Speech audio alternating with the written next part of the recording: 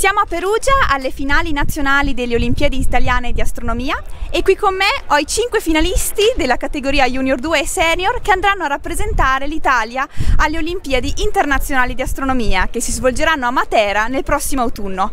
Ho per loro un po' di domande. Ad esempio vorrei chiedere ad Andrea come sono andati questi tre giorni di Olimpiadi? Eh, questi giorni, questi tre giorni di Olimpiadi in cui siamo stati qui a Perugia eh, sono stati comunque per me un'esperienza molto importante, molto bella.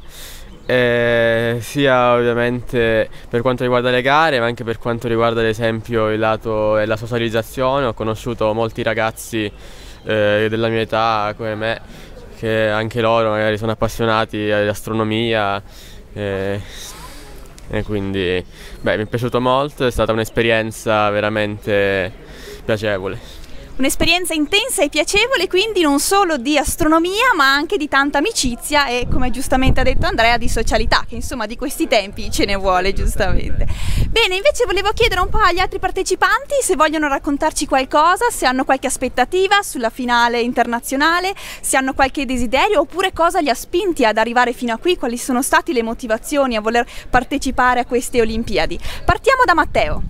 Uh, se posso essere sincero, quello che più mi ha spinto a partecipare alle Olimpiadi, un po' riprendendo il discorso che ha fatto Andrea, è stata l'amicizia che, che ho instaurato in questi anni di, di, Olimpiadi di astronomia con tutti gli altri finalisti, tutti gli altri partecipanti, il sostenersi anche quando, quando uno gareggia l'uno contro l'altro, il sostenersi, l'aiutarsi e per condividere questa, questa, passione, questo amore che abbiamo per, per l'astronomia. Quindi se c'è qualcosa che mi ha spinto ad andare avanti e anche ad alzarmi quando sono caduto è stato proprio questo. Grazie. Io vorrei avere una motivazione migliore di quella che ho. Comunque, uh, visto che il primo anno sono stato iscritto mi- senza che io lo sapessi e ho vinto comunque, quindi il secondo anno di conseguenza devo comunque farlo, impegnarmi un po', anche perché effettivamente amo questo, questa materia, mi affascina molto. Ma no, non è l'unica ragione per cui sono, ho fatto questa gara, no, non posso dirlo. No.